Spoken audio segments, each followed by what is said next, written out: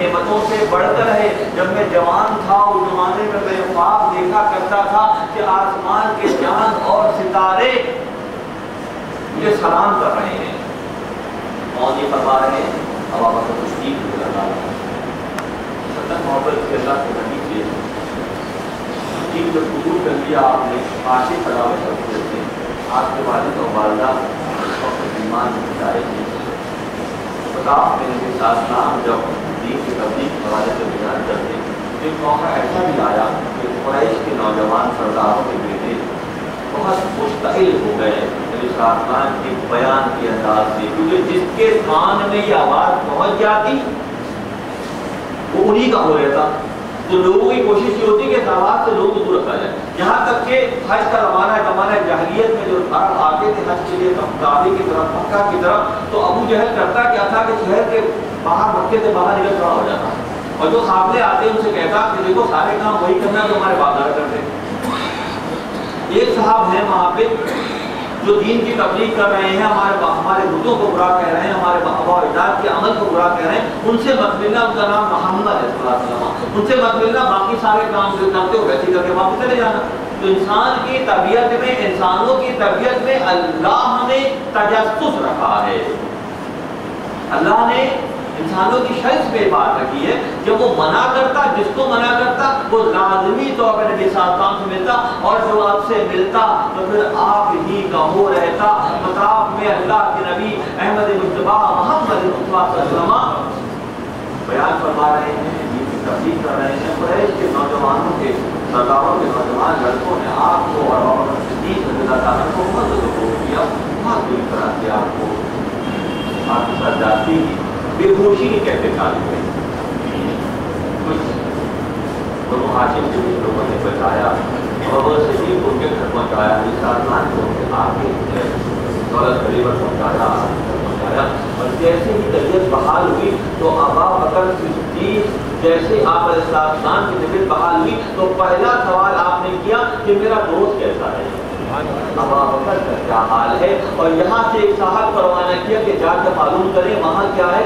उनके चूँकि इस्लाम की हिफाजत के हवाले से ज़्यादा चोटें आई थी बेहोशी कैफियत में थे वालदेन दोनों दीन अख्तियार करने पर आपकी सरदनी कर रहे थे। बाबा सिद्दीक के वालदेन और इस बात के, के हक में नहीं थे जब उनको मसीह से निकले और होश आया तो पहला सवाल ये किया कि मेरे आका कहते हैं मेरे आका का क्या हाल है? तो जाने वाले ने बताया कि वो तो ठीक है और आपकी खैरियत पूछ रहे हैं तो उनके वाले को इस बात का एहसास हुआ कि नहीं, ये पक्का आशिक है अल्लाह के हबीब का?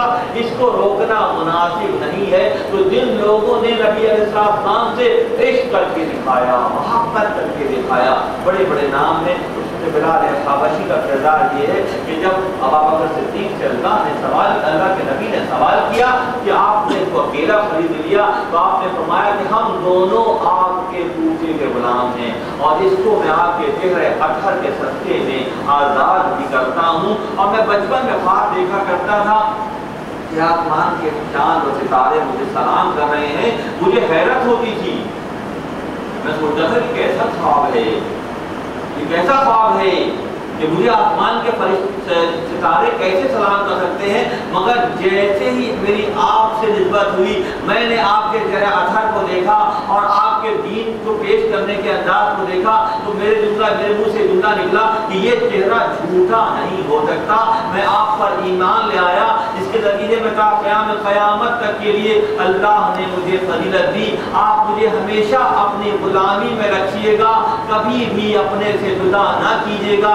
कहीं भी हो, सफ़र में हो, हजर में हो, मैं आपके साथ रहना चाहता हूँ। इसी तरह से जब उन्होंने ये ख्याल का इजहार किया तो अल्लाह के नबी ने अबा बकर सिद्दीक के लिए एक मौका ऐसा भी आया हिजरत से पहले अल्लाह के नबी ने फरमाया, जब हमें हिजरत का हो किसी भी हमें आने वाला है और तुम तैयार रहना तो तुम अब अपने सिद्दीक के मालूम चल रही है कुरान की जो सूरह तौबा की आयत नंबर चालीस को मैंने तिलावत करने का शर्त हासिल किया शुरू में उसमें यही है कि अल्लाह अमान, अल्लाह हमारे साथ है तो बाबा की कभी गुफ्तु होती चली जा रही है। साथ साथ कि जब एक मौका आया कि अल्लाह के ने हिजरत का इंदिया दिया तो बकर सिद्दीक को जब ये बताया, कि अल्लाह के नबी फरमाया कि तुम तैयार रहना, हम कभी भी हिजरत करेंगे तो जैसे ही उस शब हिजरत में अल्लाह के नबी अहमद मुस्तफ़ा, मोहम्मद मुस्तफ़ा सल्लल्लाहु अबा सिद्दीक के दरवाजे पर पहुँचे और कुंडी एक ही मरतबा खटकाई तो फ़ौरन दरवाज़ा खोल दिया? आपने साथ साथ किया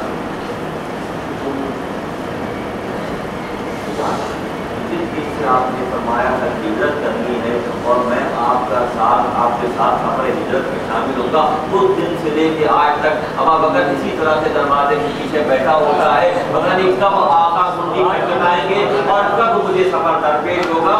ये मिसालें ये मिसालें मोहब्बत की, ये मिसालें इश्क की, ये मिसालें बारफ्तगी की असहाब ने अपनी हयात में करके दिखाया। और ये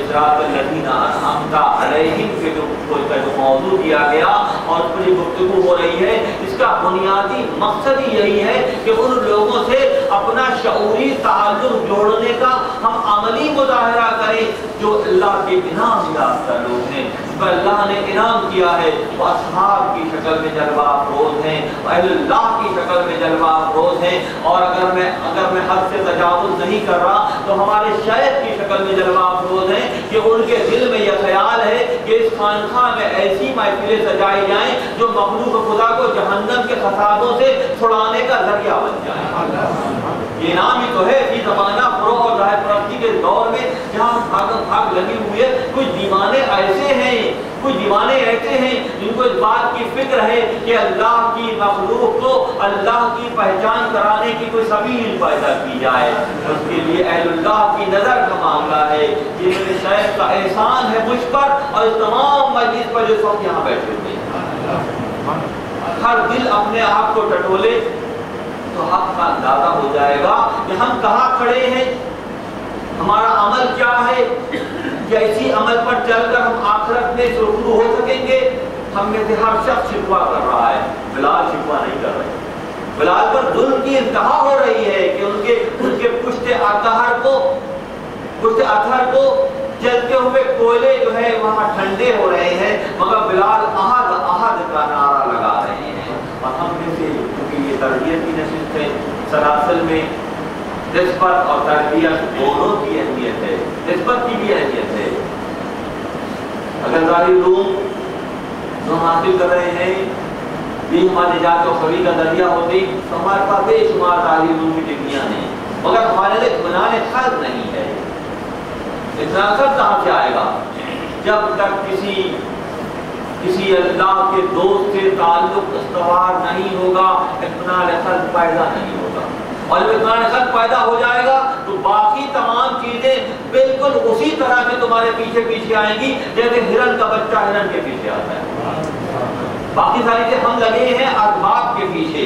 मुस्तबिल असबाब को हम भूल गए, जिसके नतीजे में हम बेशुमार तंगियों और मुश्किल का शिकार हैं। अगर हमारी नज़र बिलाल हाबशी के अंदाज में अहद पर टिक जाए, अल्लाह पर रुक जाए तो फिर क्या होगा कि मोहम्मद अरबी खरीदार बन जाते हैं। अबा बकर खरीदार बन जाते हैं के, कि उनको खरीदने के लिए अपना माल खर्च करते हैं तो नसीबा कहता है किस बुनियाद पर है कि फिक्री तौर पर अपने आप को अल्लाह के नबी से जोड़ने का शौरी इरादा बिलाल हाबशी कहते हैं। उनका जिसम तो सियाह है, उनका जिसम तो बलाहिर सियाह है, उनके जो रूह है उसकी परवाज अर्श तक की है। इसीलिए हज़रत मौलाना फरमाते हैं, सैर तौहीद सैर तौहीद हर दमे। सैर तौहीद सैर आरिफ, हर दमे था जो आरिफ की सैर है, वो हर लम्हे शाह के तख्त तक है। और को पहचान लीजिए। उर्फा को पहचान लीजिए। कि उर्फा का मामला ये है कि उनकी सैर हर लम्हे शाह के तख्त तक है। नज़र हुई है। सैर आरिफ हर नमे का तख्त शाह और सैर जाहिद हर माहे यक रोज और जाहिद अपने तमाम तर ज़ोर के बावजूद एक महीने में एक दिन का सफ़र तय करता है राजेश का। और जब इश्क की कैफियत खामोशी में पैदा होती है तो सारे मरहले इश्क की एक ही जज्ब ने कर दिया तमाम। इश्क की